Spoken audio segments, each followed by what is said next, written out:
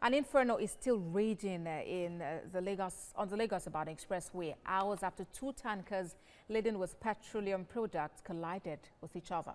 The accident occurred at about 5.30 p.m. under the Shagamu Interchange Bridge and motorists fled out of their vehicles due to panic. The incident has caused traffic as firefighters battle to quell the inferno. Officials of the Federal Road Safety Corps are at the scene and motorists have been advised to use alternative route until the situation normalizes. To Enugu State now, where police there have paraded a middle-aged woman, Amaka Otolehi, who was caught in a viral video maltreating her housemaid. The suspect claimed she never meant hurt to the little girl. Correspondent Bamidele Ajayi sent in this report. The video went around showing the suspect thrusting the little girl out of her car and on the floor. She went ahead to show affection to her crying baby.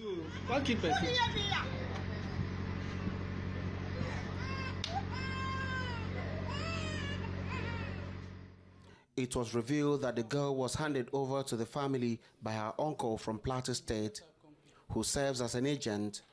The suspect, a native of Ngor Okpala in Imo State, admitted she threw the little girl out of her car, but said she never meant to hurt the eight-year-old house help.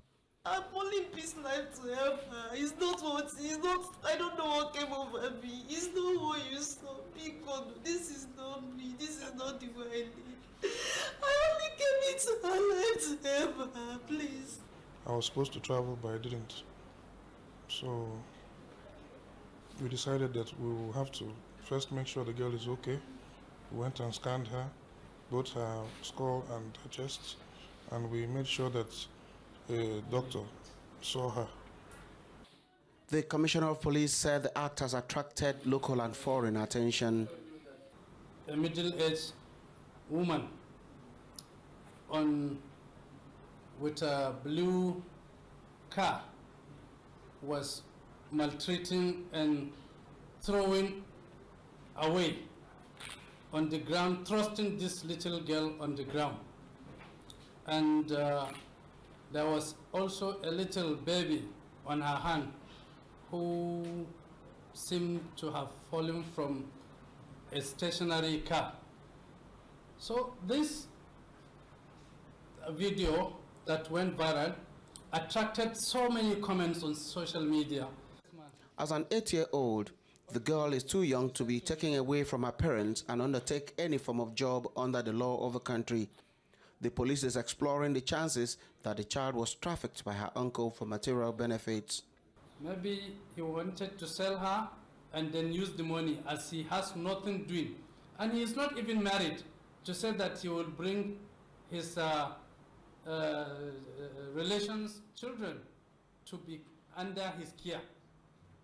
While the family that uh, he gave, they claim that they received this girl to help them in house help. Is this girl big enough to be employed? This is typical example of child abuse. The said uncle to the victim lamented that the family he trusted to take care of his niece would treat her in that manner. As I watched this video, tears were just coming out from my eye.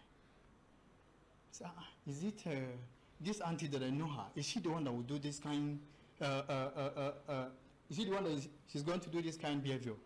As in, to behave in this way? I didn't know her with this kind of attitude. So I did not even believe it. This is just one of the countless underage Nigerian children working as domestic servants in cities across the nation, far from their own parents and homes. The sad reality is that many of these children end up being abused and abandoned to their fate hence the need for government to be firm in protecting vulnerable children.